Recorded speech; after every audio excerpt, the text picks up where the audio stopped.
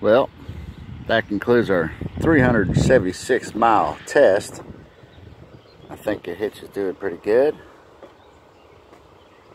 Great.